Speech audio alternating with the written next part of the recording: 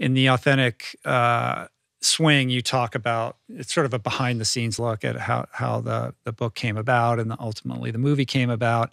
Um, what is it about? Can you speak to how golf works for you as this analogy for these other these other ideas? Because it's it it does like it's it's counterintuitive and yet it completely makes sense when you explain it. Um, first of all, I know that people who are not into golf, it seems like the dopiest sport in yeah, the world. Yeah, I'm not into. I'm I'm like I have. I'm not into golf at all. Like I have a hard time understanding. Although I watched the Tiger documentary and I was riveted by ah. that.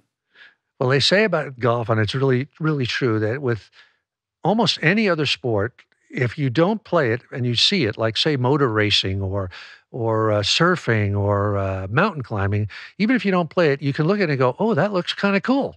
You know, look mm-hmm. at Laird Hamilton going down that, you know, but golf is an exception. You look at golf, you go, it's a bunch of white guys, you know, wearing plaid pants. It seems like the, the fat guys, it's Donald Trump. It's like uh-huh. the most bore. But trust me, it's a great sport.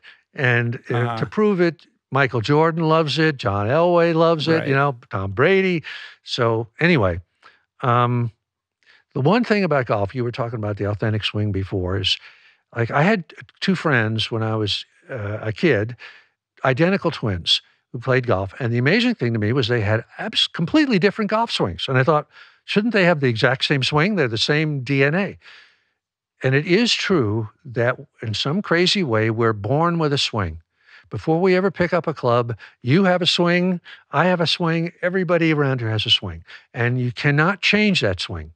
If you think about golfers like Fred Couples or Jim Furyk that have these crazy loopy swings, they didn't they didn't evolve that through study.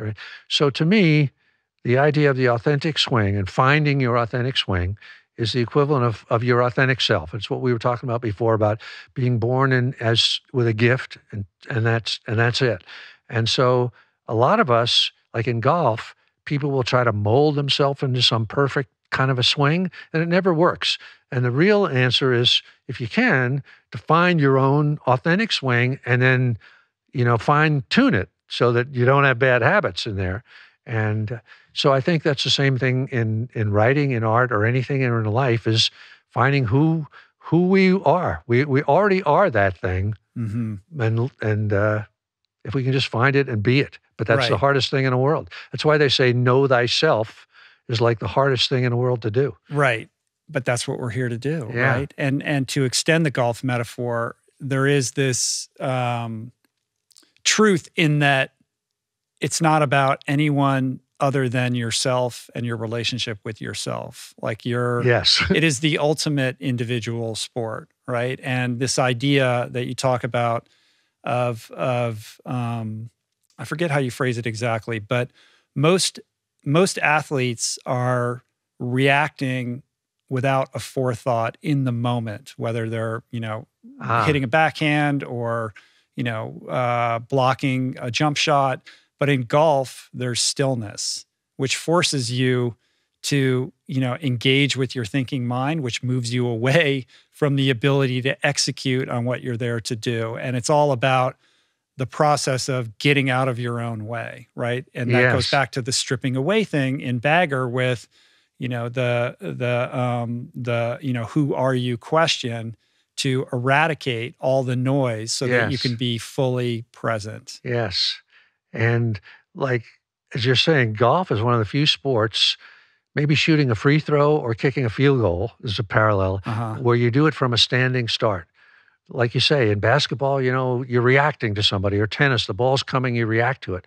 And it's easier to do that in motion. It's more, it's easier to do it. But from a standing start where your brain starts working, but then there's a whole other aspect of golf that was in uh, this book, The Authentic Swing. Mm.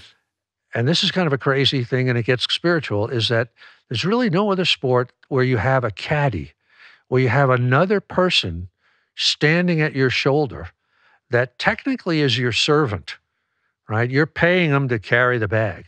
But as we all know, the bond between the caddy and a golfer is tremendous. And, and in um, in the Bhagavad Gita, where you have the great warrior Arjuna, his charioteer is Krishna, i.e., God in human form. And that was the parallel that I drew. Like, so God appears as a servant at your side and a kind of an advisor. And I think that uh, a lot of uh, of uh, Christians who believe in a personal savior related to the the character of Bagger Vance that way. But I also do think if you think about I know we're getting into deep waters no, here. this is this is my this is the stuff I love the most. If you think about um, uh, the Odyssey and Odysseus, as he's on his journey, we we people forget about this. He's accompanied by the goddess Athena, and he talks to her all the time, and she intercedes for him. And um, uh, anybody that uh, you know, Martin Luther King or somebody would talk to Jesus all the time, like it was at, at his shoulder. And so the same thing with uh, Arjuna, the great warrior, and Krishna is at his side as an instructor and as a divine archetype. And I do think this is when I say I believe in the muse. And although resistance is the negative side of it, the goddess is the positive side of it. That, you know, when I said I was seized by the story of Bagger Vance and yeah. had to write it, that's what that was. It was coming. Mm-hmm from another. So that was the equivalent of of uh, Krishna at your shoulder, or Athena, or Jesus, yeah. or whatever. Some entity from another dimension of reality, from a dimension of potentiality. Where do songs come from? Where do ideas come from? Where do books come from? Um, I think there's a lot of reality. So back to golf. The idea in golf that you have this person at your shoulder that guides you. And you can see if you watch a golf tournament, you watch Phil Mickelson or Tiger mm-hmm. or whatever, you know, they're taught, they turn to yeah. the caddy all the time. The caddy saves them, you know. In other sports, you don't have. Michael Jordan can't stop and confer with, you know, or anything like that, right?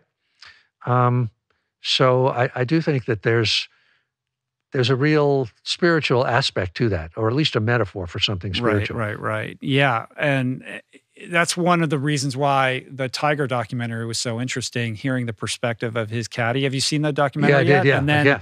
when when Tiger fires him, and the guy's like, I, you know, he, I mean, it's such a sacred relationship. Yeah, and that seemed to be a real turning point in terms of how Tiger was approaching the world at yeah, that point in his life. I think so. Yeah, and like you know, Dustin Johnson. I don't mm know if you, he's like a one, number one or whatever he is now.